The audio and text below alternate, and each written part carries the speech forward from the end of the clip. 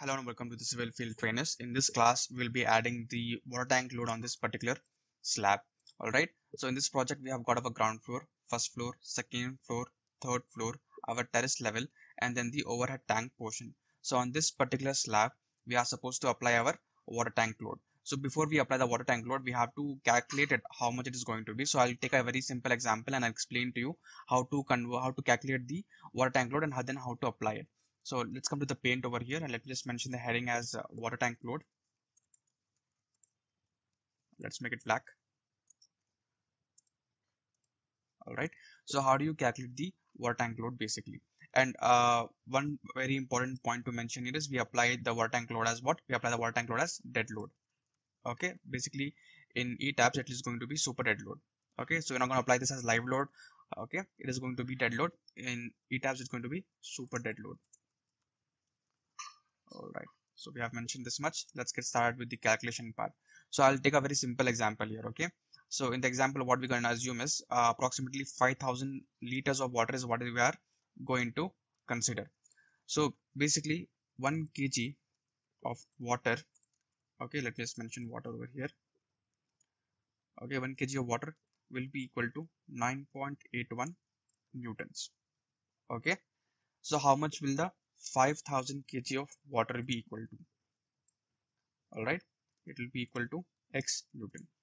All right so all you have to do is cross multiply this value and you'll get an answer over here okay? And why am i taking 5000 kgs why not taking 10000 kgs or something? If you want to know uh, how do we arrive at this particular number let me know in the comment section. I'll create a one more class for you wherein which uh, we actually take the number of people who are living in the given building use the nbc code and calculate how much amount of water will they require for up to two three days you know of uh, of time. Okay? So if you let me know in the comment sections i'll definitely make a class even on that. For now i'm just taking uh, an example of 5000 kgs over here. Okay so what is supposed to do is supposed to cross multiply everything okay? X into 1 and 5000 into 9.81 so is equal to uh, on the top i'll get 5000 into 9.81 okay? Divided by 1 all right if you do this calculation you will get a value for x.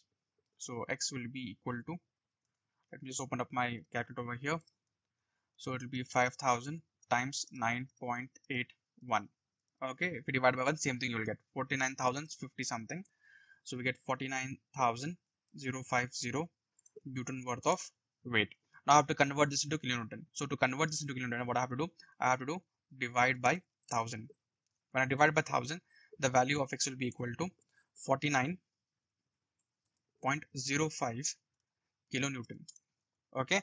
So we have assumed 5000 uh, kgs worth of water is what we're considering in our water tank. All right. And then we try to convert into kgs to kilonewton. That's what we have done here. We converted kgs into kilonewton we have converted. So 49.05 kilonewton worth of load is going to come. Now where this load is going to act? It is going to act upon what? Upon our slab. Okay. So to calculate the load, okay, load on slab, what I have to do? I have to take this x value. x will be divided by what? x will be divided by area of slab. So basically what is going to happen here? I'll do is equal to 49 0.05 will be divided by the area of slab. Now, how do I find the area of slab? I have to just come here to the plan level. Let me go to the top level over here. And from here, what I'll do, I'll just uh, go for this option itself. Okay. Yeah, you can even go to draw and draw uh, the lines and everything, but let's not do that. Just take the beam option over here.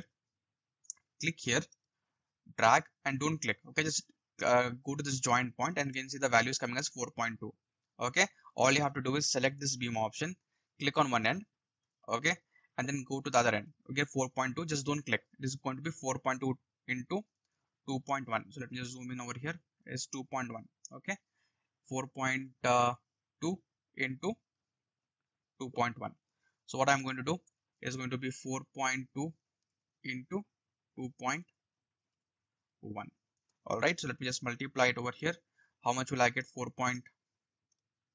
4.2 times of 2.1 I get something like 8.82 so it will be 49.05 divided by 8.82 if I do this much 5.56 so basically 5.56 so what is uh, the units that I have here is okay this is what? This is in kilonewton. This is per meter times of meter. Okay it is something like this the units part. So let me just come over here the value that I got was just a second 5.56 so what I've got is 5.56 kilonewton per meter square. Okay? So I hope you have understood what we have done basically. We have converted uh, the kgs into newton and then into kilonewton. All right once we got the value in kilonewton what we have done? Load on slab. So the entire that is coming. Will divide by area of slab by doing that we get 5.56 kilonewton per meter square. You can directly take this as 5.6 kilonewton per meter square also. Now how do we apply this load here? You have to just open this up go to define go to your load patterns first. Okay here what you can do is you can define a case for yourself called as water tank load. And come here put it inside super dead load. Add new load you do click on ok once that is done click the slab make sure you're in one story option. Click the slab go to assign and you get frame load option from here click on uh, not frame load have to go to uh, shell loads. Go to shell loads go to uniform and from here select your water tank load. Which ought to be 5.6 and what is the unit? Kilonewton per meter square. And what is the unit here? Kilonewton per meter square. Okay? You do this much click on apply and click on ok just right click on this and go to loads. You can see the load has been added.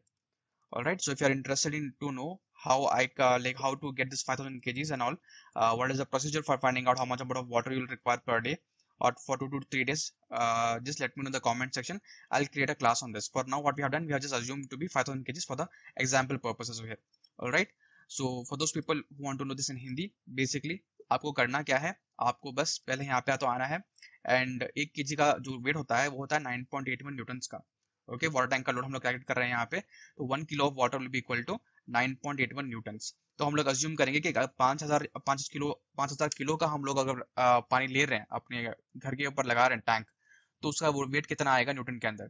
तो बस क्या करना है आपको cross multiply करना है यहाँ से five thousand into nine point eight one because conversion factor है ये डिवाइड बाय वन करेंगे तो हमको आएगा करीब करीब फोर्टी नाइन न्यूटन की वेट ठीक है? इसको हम लोग करेंगे divide by thousand to kilo newton. तो करने से आएगा, हम लोग का वैल्यू हम लोग का वैल्यू आएगा 49.05 किलोमीटर का वैल्यू आएगा। ठीक है? बस क्या किया हम लोगों ने यहाँ पे? हमने फाइव थाउज़ेंड के का हम लोग एक अज्यूम किया है। उसके बाद हम लोग बस कन्वर्जन फैक्टर से मल्टीप्लाई करके we have got the values 49.05 kilometre का वैल्यू निकाले इसको निकालने के बाद लोड ऑन स्लैब कैलकुलेट करना है हम लोग को? ठीक है? ये टोटल लोड है। तो ये लोड कहाँ पे आएगा? ये लोड आएगा अपने स्लैब के ऊपर राइट तो लोड ऑन स्लैब कितना होगा? ये जो वैल्यू है X divide by area of slab तो एरिया ऑफ़ स्लैब कैसे निकालेंगे हम लोग? आपको बस यहाँ पे क्लिक आपको बस प्लान पे जाना है। जाके आप अपने टेरेस जो ओवरहेड की जो स्लैब है, वहाँ पे आइए। आने के बाद आप सेलेक्ट कीजिए यहाँ से ड्रॉ बीम का ऑप्शन बस यहाँ पे क्लिक करना है सिंगल क्लिक करना है सिंगल क्लिक करके ड्रैग करो। यहाँ पे क्लिक मत करना, बस ड्रैग करके लेके जाना है यू विल गेट 4.2 ठीक है? 4.2 यहाँ पे क्लिक करोगे यू गेट 2.1 समथिंग ठीक है? क्लिक नहीं करना 4.2 and 2.1 and then you can just hit escape okay एक बार आपको वैल्यू पता चल गई तो आप वापस आओ यहाँ पे। तो x divide by area of slab है तो 4.2 टाइम्स ऑफ़ 2.1 करो मल्टीप्लाई करो यू गेट एन आंसर तो जो ओवरऑल वैल्यू मिली है हम लोग को लोड का उसको डिवाइड करो इस पर्टिकुलर वैल्यू से तो आपको मिलेगा 5.56 किलोमीटर पर मीटर स्क्वायर की वैल्यू बहुत ही सिंपल है। पहले आप क्या करोगे? पहले आप देखोगे कितना पानी आपको चाहिए कीजीज में। मुझे पाँच हज़ार के का पानी चाहिए अपने घर पे वाटर टैंक के अंदर।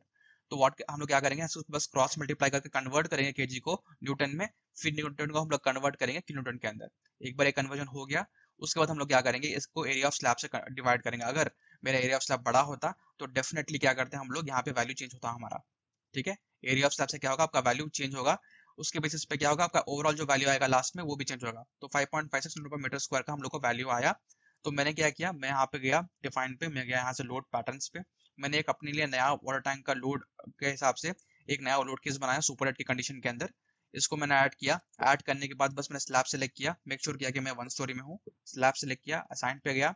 शेल लोड्स में गया यूनिफॉर्म पे गया और यहाँ पे मैंने सेलेक्ट किया वाटर टैंक लोड और जो भी मुझे लोड आया था मैंने वो लोड अपना यहाँ पे अप्लाई कर दिया।